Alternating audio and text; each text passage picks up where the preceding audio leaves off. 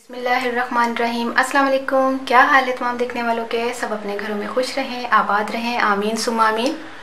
आज हम mango jam बना रहे हैं, जो कि बहुत ही इजी है और आप बनाएँगे और आपको बहुत मज़े का लगेगा। बच्चों, बड़ों, सबको पसंद होता है। ब्रेड स्लाइस पर आप लगा के खाते सुबह नाश्ते में। तो आप घर पे बनाएँगे। मैंगो का सीज़न भी है। तो जिसके लिए मैं तमाम चीज़ें आपको बता दूँ कि हमें किन किन चीज़ों की ज़रूरत होगी। मैंने तीन जो है ना, वो मैंगो लिए थे।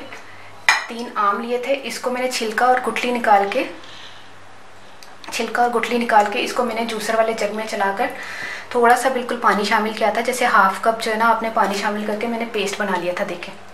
ठीक है? अब इसको मैं साइड पे कर देती हूँ कि मैं आपको सिर्फ़ बताने के लिए कि ये जो है ना, आम जो है ना, मैंने तीन लिए थे। ठीक है? उसमें हम चीनी शामिल करेंगे 125 ग्राम। 125 ग्राम चीनी। अगर आप चाहें तो चीनी ज़्यादा भी शामिल कर सकते हैं, लेकिन आम चूँकि चौसा आम है तो ये मीठा होता है, इसलिए मैंने चीनी जो है कम शामिल की है। आप 200 ग्राम भी शामिल कर सकते हैं तो 200 ग्राम भी ठीक ही रहेगी। और वन टेबल स्पून के करीब हमने लेमन जूस लिया है। अगर आप लीमू के हिसाब से देखें तो एक अदर लीमू बड़ा वाला हो तो उसको, उसका जूस निकाल लें तो एक टेबल स्पून डेढ़ टेबल स्पून के करीब आपने लेमन जूस लेना है। तो फिर इसको बनाना शुरू करते हैं।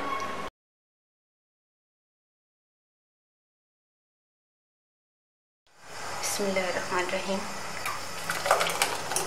आम की जो हमने प्यूरी है, वो सारी इसमें शामिल करके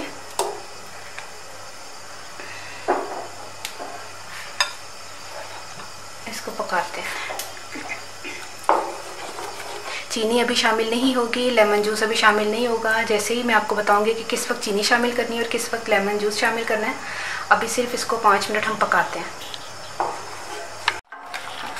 ये देखिए, तकरीबन पाँच मिनट हम इसको पकाते हुए हो गए। अब इस टाइम पे हमने चीनी शामिल करके इसको पकाना है। जब तक ये ठीक नहीं हो जाएगा, इसको उस वक्त तक पकाने, पकाते रहना है।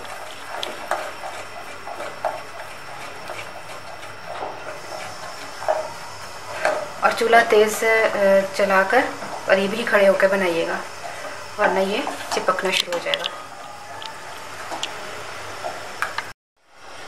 ये देखिए, हमने 10 से 15 मिनट इसको तेज़ फ्लेम पर इसको जो है ना, ऐसे जैसे चमक आ जाती है ना जैसे तो इस तरह हो जाए और गाढ़ा गाढ़ा हो गया। ये देखिए, ये। बिल्कुल चमक आ गई नज़र आ रही चमक। ठीक है? अब इस टाइम पे हमने क्या करना है? लेमन जूस डालकर हमने इसको तकरीबन पाँच मिनट और पकाना है वो भी तेज़ फ्लेम पर।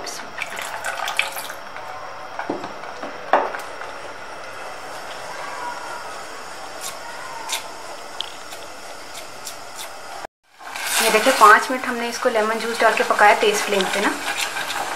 अगर आप और गाढ़ा रखना चाहें तो और गाढ़ा रख ले, लेकिन इतना पतला ठीक है, क्योंकि ये थोड़ा सा और ठंडा होकर गाढ़ा हो जाएगा। ये देखिए। ये देखिए आप। ठीक है? तो अब हमें इसका जो है ना, बिल्कुल बंद करके फ्लेम और इसको हम ठंडा करके फिर मैं आपको प्लेट में निकाल के बताती हूँ। ये देखिए, ये प्लेट में मैंने रखने लगी हूँ तो ये गर्म ही है अभी। तो आपने ठंडा करके शीशे की जार में रखना है, संभाल के फ्रिज में। तो ये फिर काफ़ी दिनों तक आपका चल जाएगा।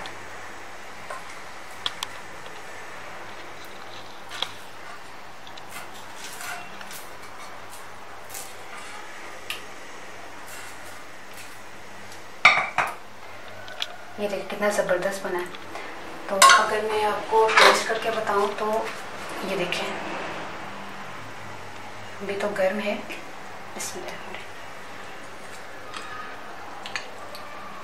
बहुत मज़े का बना है, माशाल्लाह से। आपने ज़रूर ट्राई करना है। तो इसमें एक चीज़ शामिल होती है जो कि मुश्किल ही पाकिस्तान से मिले। हो सकता है आप लोगों को मिल जाए। मैंने तो बहुत कोशिश की, मुझे नहीं मिली पैक्टिन पाउडर वो अगर इसमें शामिल कर दें, एक से डेढ़ टेबल स्पून आप शामिल कर दें, जैसे पकते हुए, जैसे आपने चीनी शामिल की, उस वक्त शामिल कर दें तो वो जैम में डलता है। तो मैंने इसलिए पैक्टिन पाउडर वाला नहीं बनाया क्योंकि वो ज़्यादातर लोगों को नहीं मिलेगा।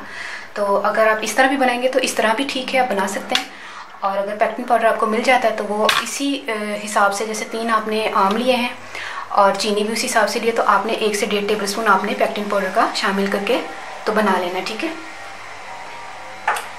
हम, मैं पंजाबी दसदा कि ना मैं तीन अम्ब लेसन ਤੇ ਨਾਮ ਲੇਸਨ ਤੇ 125 ਗ੍ਰਾਮ ਮੈਂ ਚੀਨੀ ਲਈ ਸੀ ਤੇ ਇੱਕ ਲੀਮੂ ਲਿਆ ਸੀ। ਤਕਰੀਬਨ 1 ਟੇਬਲ ਸਪੂਨ 1.5 ਟੇਬਲ ਸਪੂਨ ਦੇ ਕਰੀਬ ਲੈਮਨ ਜੂਸ ਸੀ।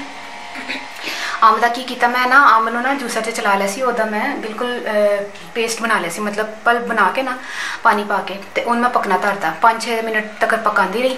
ਉਸ ਬਾਅਦ ਚੀਨੀ ਮੈਂ ਸ਼ਾਮਿਲ ਕੀਤੀ। ਉਹਨੂੰ ਫਿਰ 10-15 ਮਿੰਟ ਪਕਾ ਕੇ ਜਦੋਂ ਬਿਲਕੁਲ ਗਾੜਾ ਹੋਣਾ ਸ਼ੁਰੂ ਹੋ ਜਾਏ ਤੇ ਚੀਨੀ ਦੇ ਨਾਲ ਆਖਰੀ ਚ 5 ਮਿੰਟ ਉਤਾਰਨ ਤੋਂ ਪਹਿਲੇ ਨਾ ਤੇ ਲੈਮਨ ਜੂਸ ਪਾ ਕੇ ਉਹਨੂੰ 5 ਮਿੰਟ ਹੋਰ ਪਕਾਇਆ, ਤੇਜ਼ ਫਲੇਮ ਦੇ ਉੱਤੇ। ਜੈਸੇ ਉਹ ਗਾੜਾ ਹੋਣਾ ਸ਼ੁਰੂ ਹੋ ਗਿਆ, ਇਸ ਚਿਪਕਣਾ ਸ਼ੁਰੂ ਹੋ ਜਾਏ। ਤੇ ਤੁਹਾਡਾ ਜੈਮ ਤਿਆਰ ਹੈ, ਬੜੇ ਮਜ਼ੇ ਦਾ ਬਣਿਆ ਤੁਸੀਂ ਘਰ 'ਚ ਜ਼ਰੂਰ ਬਣਾ ਕੇ ਟਰਾਈ ਕਰਨਾ। ਅੰਬ ਦੇ ਤੇ ਬਹੁਤ ਜ਼ਿਆਦਾ ਡਿਸ਼ਾਂ ਨੇ ਮੇਰੇ ਕੋਲ। ਇਸ ਵਕਤ ਜ਼ਹਿਨ 'ਚ ਤੇ ਮੈਂ ਸੋਚਦਾ ਸਭ ਤੋਂ ਪਹਿਲੇ ਮੈਂ ਮੈਂਗੋ ਜੈਮ ਬਣਾ ਬਣਾਣਾ ਫਿਰ ਉਹ ਇਨਸ਼ਾਅੱਲਾ ਥੋੜੇ ਹੋਰ ਦਿਨਾਂ ਤੱਕ ਮੈਂ ਅੰਬ ਦੀਆਂ ਹੋਰ ਵੀ ਸੀਜ਼ਨ ਹੈ ਨਾ ਤੇ ਕੁਝ ਹੋਰ ਚੀਜ਼ਾਂ ਵੀ ਮੈਂ ਬਣਾ ਕੇ ਤੁਹਾਨੂੰ ਦੱਸਾਂਗੀ।